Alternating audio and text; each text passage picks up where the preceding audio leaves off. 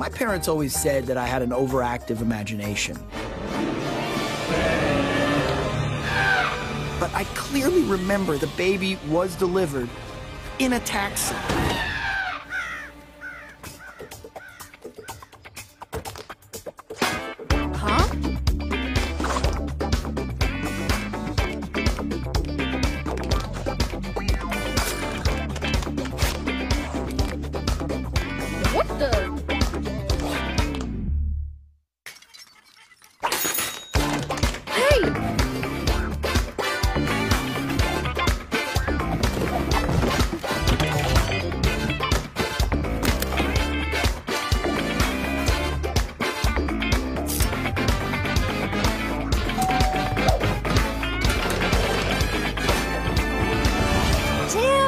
Look who's here!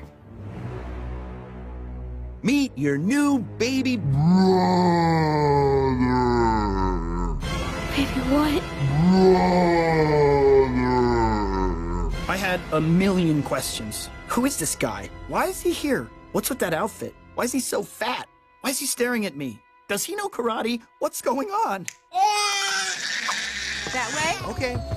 Right from the start, he was yelling at people, ordering everyone around. Oh, you want this? One thing was clear. He was the boss.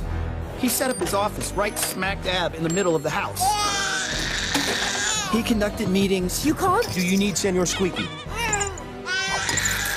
Lots and lots of meetings. Even in the middle of the night. I'm up! I'm up! We're coming! I'll be right there. If things weren't done to his immediate satisfaction, he had a fit.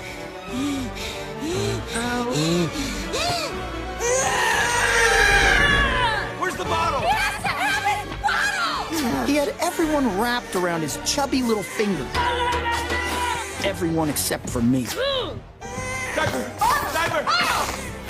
Dad, I can't sleep. I know, bud, me neither. I- It's, you know, the baby needs a lot of attention right now. Okay, good talk. But, It's okay, but, okay. Daddy's here. Daddy's here. what about me? The year 2057. Ensign T-Rex and I are investigating a hostile alien invasion.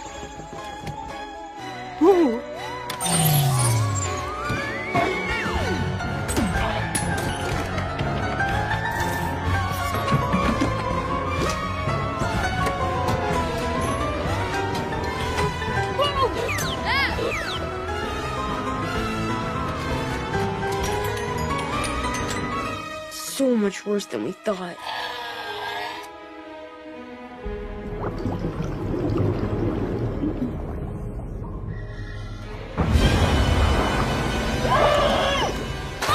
Naked. I'm naked. Say naked. No.